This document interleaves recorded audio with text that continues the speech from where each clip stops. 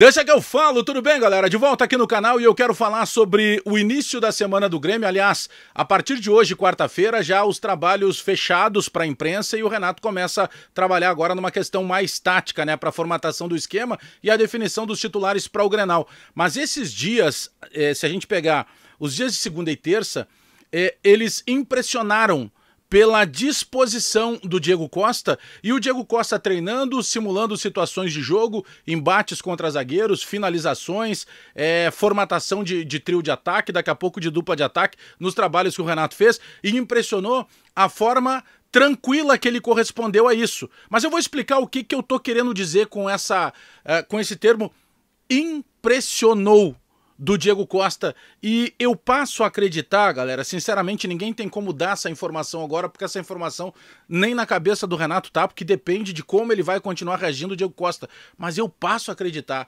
que a seguir o que está acontecendo até esse momento, ele vai começar como titular no Grenal. Ah, e vamos falar também sobre o Mike, porque tem a apresentação oficial dele hoje no Grêmio. Tudo isso depois da vinheta.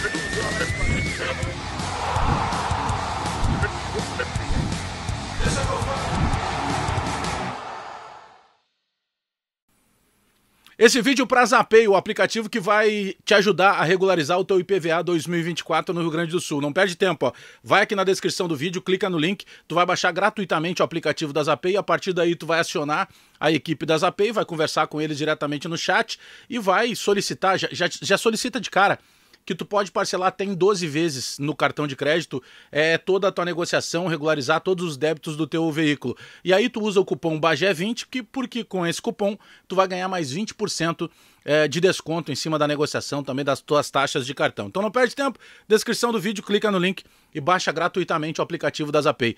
Diego Costa está impressionando nos treinos do Grêmio. Mas por que que, pô, Bagé, mas por que essa empolgação toda? Porque a gente está baseado naquilo que os repórteres estão vendo e o Lucas Pilar, que trabalha comigo nas jornadas, está é, o tempo inteiro acompanhando os treinos. O Matheus Dávila, que trabalha comigo no Debate Raiz, também está o tempo inteiro acompanhando os treinos, mas tem aqueles relatos do pós-treino que aí a gente busca baseados nas nossas fontes, nas nossas informações.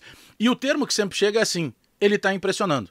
Tá todo mundo impressionado. Impressiona a forma que ele está treinando. Jogador experiente, mas chamava a atenção uh, muito mais a dúvida de que maneira que ele poderia voltar a um trabalho entre jogadores e de um time profissional, diferente do trabalho que ele fazia há pelo menos dois meses, em que ele é, fazia o, é, atividade física mas dentro de uma academia e, e, não entre jogadores simulando situações reais de jogo. E essa minha empolgação, ela vem justamente baseada também no histórico recente de quem joga como centroavante do Grêmio, que é o João Pedro Galvão. Então, aquele início de dúvida se ele poderia, o Diego Costa, ser relacionado ou não para o clássico, já foi por, por água abaixo. Ele tá no Grenal.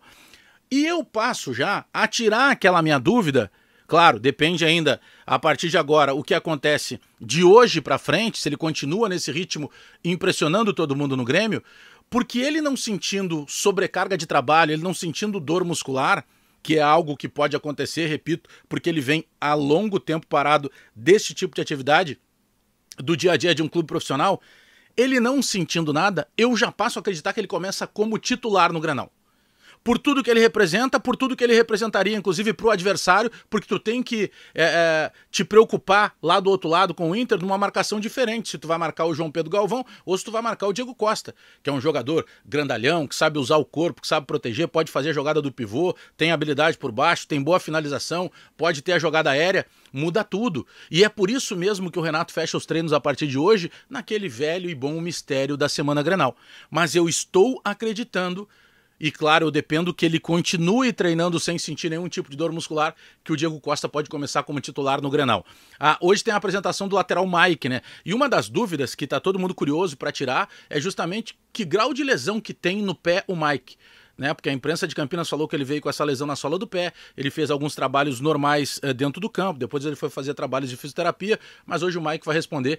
Eh, ele tem a apresentação oficial e eu acredito sim que ele possa ali na frente, pelo menos, disputar essa posição da lateral esquerda com o Reinaldo. Mas eu quero saber o que, que tu pensa.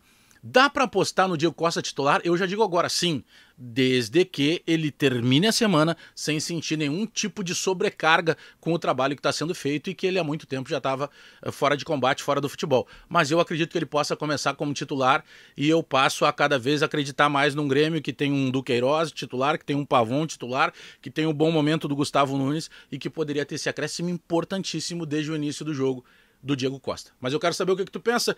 Te inscreve no canal, deixa o teu like, aperta o sininho para receber as notificações, porque eu volto a qualquer momento com mais informações do Grêmio.